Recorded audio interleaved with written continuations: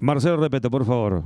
Bien, estamos con Fabián Chantorno, quien hoy ofició de director técnico de Boston River ante la suspensión de Iturralde. Bueno, Fabián, ¿qué conclusiones de este empate? Eh, bueno, la verdad que me, está me, está costando sacar conclusiones del partido, la verdad que fue un partido muy duro. Este, Fénix es un, es un muy buen equipo, lo, lo vimos en los últimos partidos y lo que ha hecho en la temporada con un, con un muy buen cuerpo técnico. Este, tanto el Nacho como, como el ruso ahí están haciendo un laburo bárbaro, eh, con, muy, buenos jugadores. Este, y bueno, fue un partido duro, donde, donde la verdad que nosotros este, nos costó, nos costó ser, ser, ser Boston River, ser nosotros. Eh, por pasaje del partido sí lo hicimos con, con lo que nos caracteriza, eh, caracteriza este, buen trato de pelota, teniendo llegada este, tanto por afuera como por adentro, pero bueno, por momentos eh, nos costó bastante. Este, esa, es la conclusión que saco, que tenemos que seguir trabajando y, seguir mejorando en ese aspecto. Este, pero bueno, también ser consciente de cuando, cuando tuvimos la chance de, ser nosotros, como te repetía, este, eh, se jugó al fútbol y se tuvo chance de gol.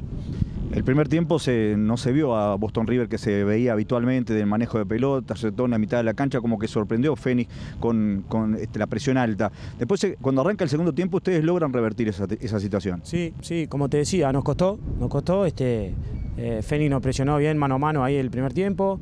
Eh, al principio nos costó encontrar el hombre libre, entonces este, eh, después ya se nos, dificultó con el transcurso del partido, pero bueno, como te decía, también hubo momentos que sí encontramos este, nuestro juego, eh, lo que habíamos planificado, este, lo pudimos llevar a cabo por momentos del partido y bueno, quedarnos con eso y seguir trabajando por, lo otro.